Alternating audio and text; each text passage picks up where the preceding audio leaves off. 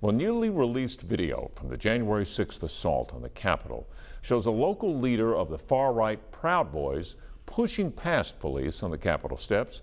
One officer who was injured that day was Michael Fanone of D.C.'s Metropolitan Police, who was beaten unconscious. He is now trying to hold rioters and their political supporters accountable for the mayhem. CBS's Kris Van Cleave spoke with Officer Fanone and two of his allies, Republican Congressman Adam Kinzinger and Democratic Congressman Eric Swalwell, about what they'd like to see.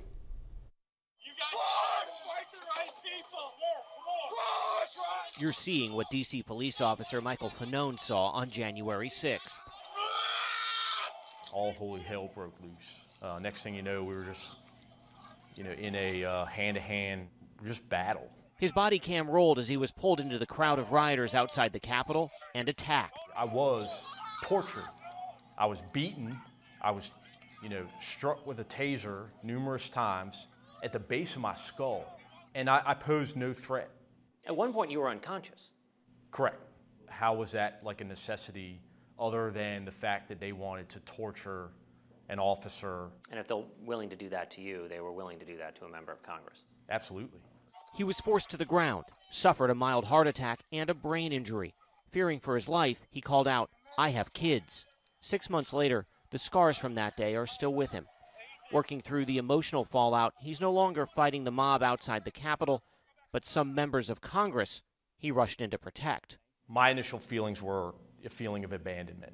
I speak to a lot of police officers, and that's the overwhelming feeling is that we've been abandoned.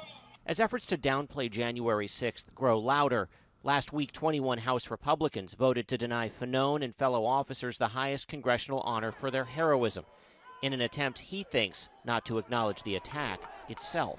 Which is, you know, to me, far more repulsive uh, than voting against, you know, giving cops a medal. Fanone has become friends with Republican Congressman Adam Kinzinger and Democratic Congressman Eric Swalwell the three coming together in a joint interview, hoping to show it's possible to disagree and still get along. When you sit here and you see the strength of, of Fanone here, you know, openly talking about some of the emotional struggles he has. Like as dudes, that's something we don't like doing. I'm a military guy, he's a cop. It's not something that, you know, is in our lexicon, but it's important to hear it. And where they all agree, the need for a 9 11 style commission to investigate January 6th. But that was blocked by Senate Republicans. The bottom line of all of it, it's cowardice because it takes strength to tell the truth. If you believe Antifa and BLM actually attacked the Capitol, you should have won a January 6th commission. But if you believe that it was act, that you've been lying about it the whole time, then you don't want a January 6th commission. That's why we have to do it. Do you worry about more violence? Yes. Here? Yes. The best antidote against that is unity among Democrats and Republicans saying, we're not going to let that happen again. You know, we, we may not agree on who the president is right now and what that person is trying to do, but we at least agree in the process and the democracy that brought that about. Do you think if there is a commission or anything Congress does to look into January 6th at this point, will be looked at as credible? But if you're going to enact policies to make sure this never happens again, as the independent bipartisan September 11 Commission did, it has to be independent, bipartisan, and as far away from this building as possible.